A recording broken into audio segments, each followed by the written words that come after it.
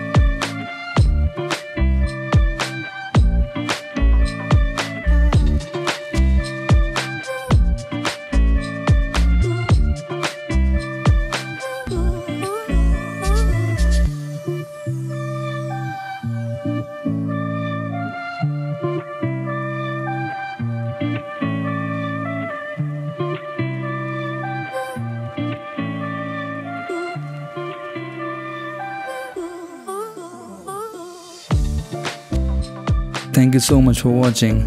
For other important comparisons of Nikon ZFC, please check the links in the description. And if the video was helpful, do support us by subscribing.